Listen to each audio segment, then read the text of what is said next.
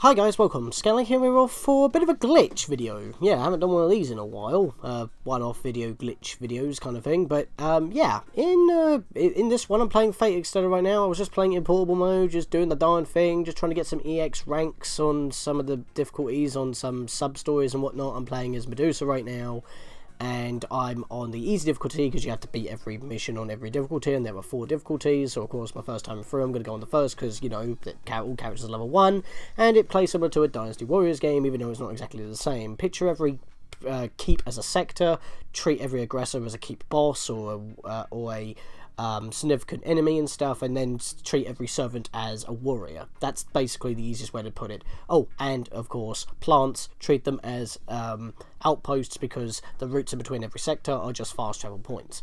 So now I've got the that out of the way for a quick little explanation. Um, basically, to get EX rank, you need to get 3,500 kills, I believe. That's roughly the number I go for in order to get an EX rank for kills. Take less than 300 hits, which you cannot check during gameplay, which is kind of dumb, but normally it's just 300 hits, not 300 HP loss. And then you also need to get a combo of 2,500, and you need to take out every sector. I'm on the final sector before needing to go to the boss. Thankfully, the boss ain't chasing me because it's in a portal, so it's in a separate room. So that's helpful, so I can take my time. Thing is, I've got one sector left to clear off, and I bumped into a glitch. So let me get into that. So, you know, just killing enemies, doing the darn thing and whatnot, and, well, here's the thing. Um, there's a red aggressor. Well, I've only got one aggressor left, and the arrow tells you where the target is. But if I try to run where it is, apparently the arrow is all the way down here. And if I look on the map, it is in that direction as well, in a different sector. Apparently in that room down there. And he's out of render distance. But the thing is, he's actually in that sector, as you can see there. He's actually getting stuck on the wall. Thing is, though, he's part of the sector I am in. And aggressors aren't supposed to be in different sectors from what they're supposed to be in. So, if I try to even go down there and leave, bloody hell, a plant has spawned again already, because how else are they supposed to progress? It's no longer in that sector, and if I pause, the blue uh, people, like, symbols, are my aggressors. They're basically the, uh, my, my, my keep bosses, effectively, so that's pointless, so he's not there. But if I come back here, he respawns back in that room again. So I can't actually EX rank this mission, and I've already spent 17 minutes doing this mission. So that means I've got to do it again, just to get EX rank on easy, even though I've still got to, you know, do it another three times for every other difficulty. That's annoying. This is the first time I bumped into this glitch, by the way. I do not know how to get that aggressor while being in the sector to spawn him but not being able to hit him when he's in another sector. How did he even get down there is another question. I mean, like, can I even see him? There we go. Look, we can, we can clearly see him now. He's right there. But he'll only spawn if I'm in this sector, because he's part of this sector. If I try to go down there to kill him, he de-renders. Because he's supposed to be in this room, not in that room down there. But if I go down to that room, he despawns and the bloody plant respawns. So I can't take out this... Actually, hang on, there might be a way on tricking this out. Hang on, hang on, hang on, hang on. If I get as close to him as possible and try to get a grunt to attack me here. Come on. There you are. Let me do this.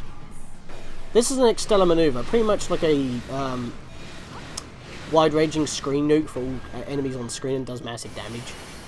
Also helpful for invincibility frames.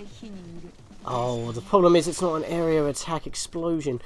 And I can't even get my, um, uh, Noble Phantasm, which is the true screen nuke, because you need three chips, and I've only got two out of three, and the third one is in the boss area, and once I go in there, I can't leave. So I can't actually do this. And that is a big shame, because that means I've got to do this again, just because he's decided to spawn down there for some reason. And he, he can't respawn up here. And the problem is as well, he's a big dude a heavy hitter. So I'm screwed. I can't finish this. I guess what I'll do is I'll just cut until I actually beat the level and show you that I can't get EX because I can't clear off that one sector, which is a really big shame. So I'll just head into this portal and uh, I'm going to have to do this again in my own time. That's great. And there she goes. Sorry, Nero. You're awesome, but I'm on the I'm on a different team. Those jiggle physics, yo. But that's not the point of this video. And total sectors, because I didn't take them all out, I don't get EX rank, so I have to do it again in order to get the best ranking in the game. And that's the problem. Because of that glitch, that's, that's the first time I've seen this glitch, and at the same time it's directly affected me. I don't know how that enemy spawned in another sector that he's not supposed to be in. Because when aggressors spawn, they're supposed to spawn in the sector that you're in. Yes, they're all over the place, but when you trigger them to spawn, or if you go into a sector, you fight the aggressors in there. They're not supposed to be somehow in another sector. Because every time I try to go to that sector, because he's not in the, he's part of a sector that I'm not in, he de-renders. So I can't hit him. I mean, I didn't actually try to see if his hitbox was still there, but I would assume no. So why did he spawn in a in a completely different sector and in the middle of that sector that I was nowhere near. It didn't make sense to me. Is the first time I've seen this glitch, incor uh, like incorrect aggressor spawn, perhaps. I don't know what to call it, but yeah, just an off-the-wall video, and I had to record it this way because I couldn't hold the bloody capture button because eh, you can't capture this software even though it's part of the home menu of the Nintendo Switch because it's part of the firmware. Nintendo are very odd about this, and you can only record 30 seconds as well. I don't understand Nintendo's practice on that. I mean, the PS4 can record videos on any game as long as it's not blocked recording, but apparently only Breath of the Wild and Mario Odyssey are allowed, and it's literally oh, and Mario Kart 8 Deluxe. So far, those are the only three games. Even Xenoblade 2 can't capture video footage. It don't make sense to me.